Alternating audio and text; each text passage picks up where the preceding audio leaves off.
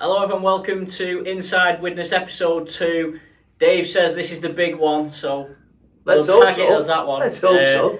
Get to know Dave Rolt a bit more and what he does at the club. If you've not seen episode 1 with Chief Executive Phil Finney, that's available on the club website and on the YouTube channel and everywhere else. I'm sure the media team will point in the right direction. They're also going to be this side of the camera in the coming weeks, got a few of these lined up, so keep an eye out for them.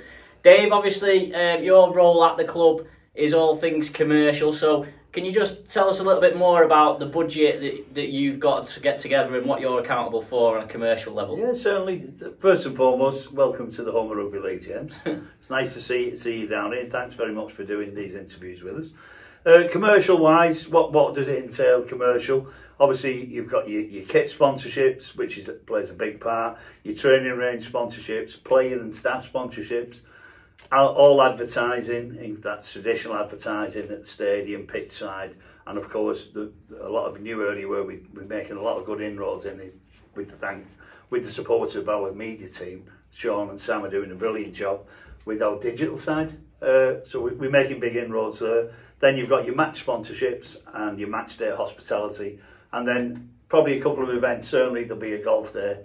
Uh, so that all falls on my shoulders. I wonder who came up with the idea for a golf day, Dave. Was that you? It was me many Yeah. years ago, many years ago, about eight years ago. And ironically, uh, a, a guy who used to help the club out uh, in media, Frank Tobin Jr., uh, a very good friend of mine, he we, we named it, he was a, two big passions Frank had in his life were golf and Widnes Rugby League. Uh, so we named it, the, the golf day is named after him. So it's the Frank Tobin Jr. Memorial Golf Day. Brilliant. Uh, so it's got a link there. So obviously at the moment you've you've got the kit boxed off and the training wear and, stuff like that. So what are your focuses at the moment in terms of what you're trying to shift sponsorship wise? What can the people watching ring you up and and get off you at the moment? Well, at, the, at this moment in time, we all the all we've got staff sponsorship available. My main area of focus at the moment is match match day packages sponsoring the game. We've got four four different packages at different levels. Start so you can actually sponsor one of the games for as little as five hundred pound, uh, and that goes right up to fifteen hundred pounds. So we've got a man of the match sponsorship package, a match ball, an executive match, and a big match sponsor. Uh, all real good packages in a fantastic facility, which this stadium is. And I think one of the things about winning championship last year was it, it highlighted how good a facility this is. Sometimes you become a bit blasé, don't you? Which um, it's easy to do, but this is a good facility, and I like to think we we, we make a, a good effort. We put a good a good match day experience on for our corporate guests. The how important is everything that you do in terms of the, the commercial side? Someone said to me it's about fifteen percent of the total budget. Is that about is that about yeah, right? uh, yeah, it, it is, and obviously the budget's set, and as Phil said uh, last week in his interview, it, that budget that's been submitted, that depending on that certain amount of that is how you get your salary cap. Uh, however, that is fluid. So if we've got a figure in the budget for our commercial income and we can manage to exceed that, which we you know we're going to do everything we possibly can to exceed that, that therefore then lifts the, the cap for the, the spend on players. So that's where that's one of the challenges and that's one of the things that excites me because at the end of the day I'm I'm no different than anyone else sat in there. I'm a fan of the club. Uh, so hopefully the more money we can get in commercially the more it'll help Tim to build a stronger team for the championship season ahead.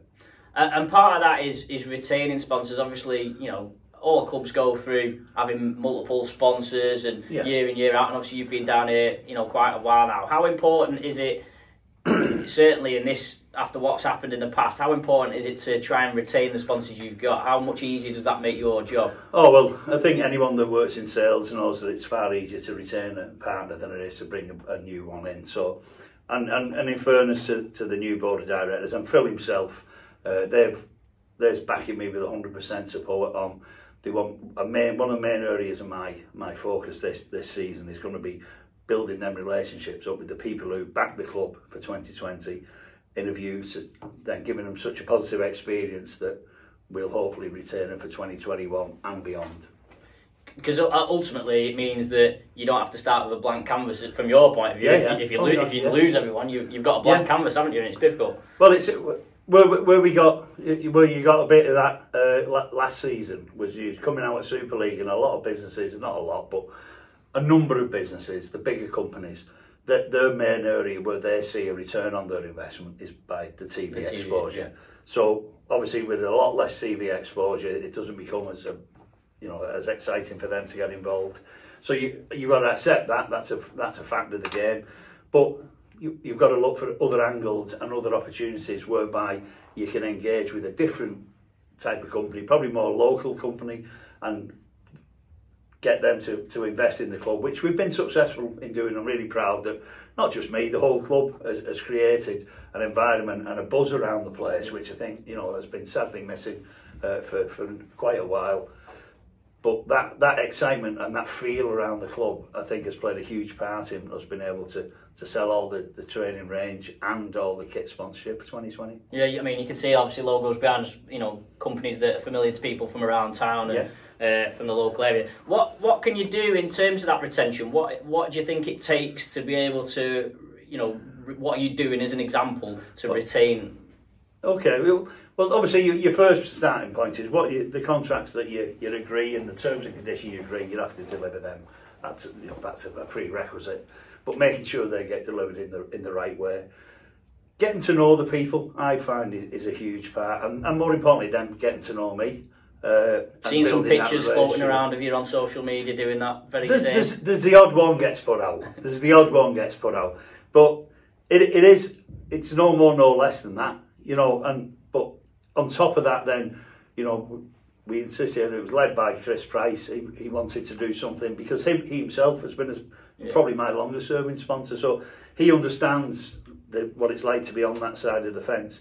And it was Chris's idea that when to show the kit to the, the companies that have been, uh, invested on it for this year, we took them up to the Barton Rouge and I think the lads had put a video out last week and and we, it was a great evening, a real good evening. And and the object of that evening for me, from my perspective, when I said it to Chris, is I want all them people to, to get to know us a little bit better that night, and, and Tim Sheens as well. They all enjoyed a chat with Tim. Uh, But I want them to, to go out there with a good feeling about that I've done the right thing and I want to I want to be part of this journey. And it, that was like the starting point for me.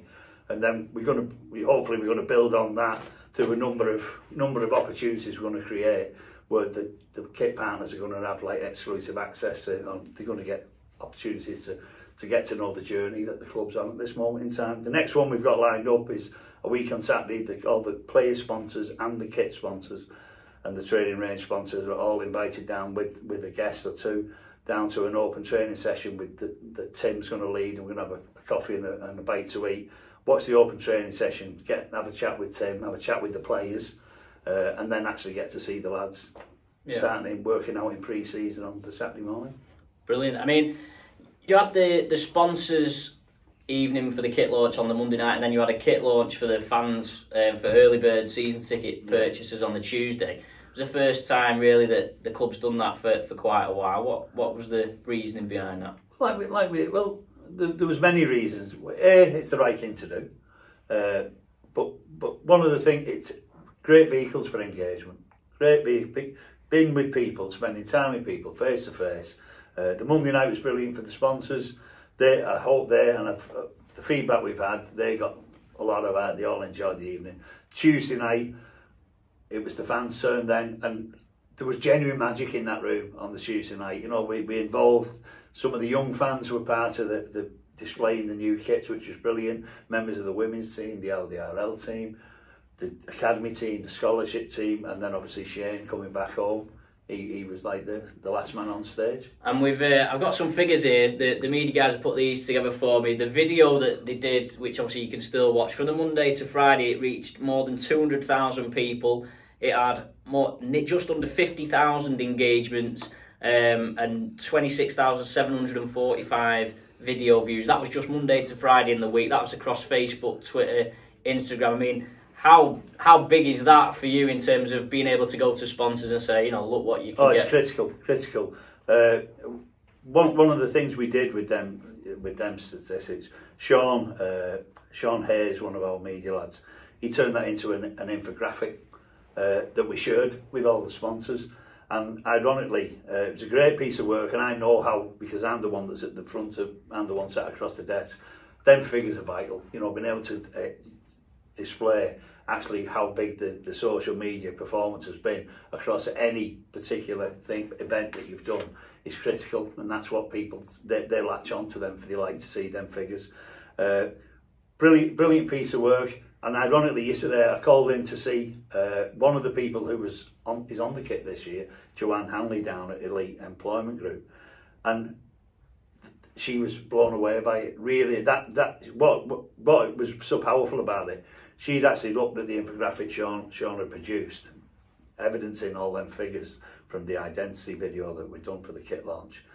And it had like opened her mind as how else how else could she utilise her association, her partnership with, with Witness Vikings to, to get help activate and grow her business. Yeah. So you know, for that that alone, that was just one one example where didn't particularly go into talk about it, but that's what she we ended up discussing how really how engaged she was by that. So I, I did say at the time to Sean it was a great piece of work. So well done, Sean. How does it work with the board of directors in terms of what you've got to sell, and you know if you've got a deal with someone and maybe someone's haggling with you and whatever on the price? How does it? How does that relationship work with the board? There's always a deal to be done, James. You know there's always a deal to be done. Uh, Well, obviously, with the new board of directors, that they're not involved in the club on a day-to-day basis. But what, what has happened, uh, they've each been picked up an area of sort of their expertise and the, and then they're looking at that area and they're supporting that area. And in the commercial, it, it's Tracy Glendinning.